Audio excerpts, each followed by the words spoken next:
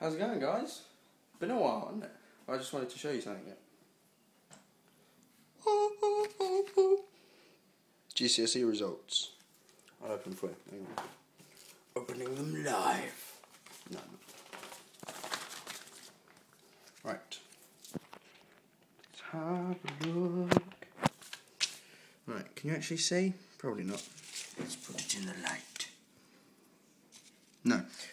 Still can't see. I'll read them out for you. Business Studies C, Geography B, Maths C, Science B, Additional Science B, German D, English Double Award B C, Sport Pass, Performing Arts Distinction, that's two A's.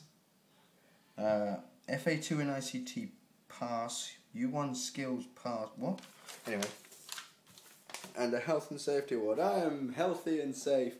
Um, but yeah, how did you guys do? What? You did that badly? Nice. Unlucky. Um, anyway, I just thought I'd show you that and say that it's been a while, but I should vlog more often, and I will. Cup of tea, beef Bazznesss. Can you see that? Probably not. I've got my t-shirt on. Nice! Anyway,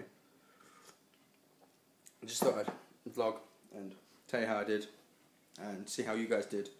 Um, but you did terribly, so there was no point. Oh dear. Pringle sponsor! Anyway, I'm gonna go because uh, I've got to get ready for work. I can't wear a Bazznesss t-shirt to work. They don't let you do that. They don't understand. Anyway, I'll see you later. Watch out for the explosion of awesomeness.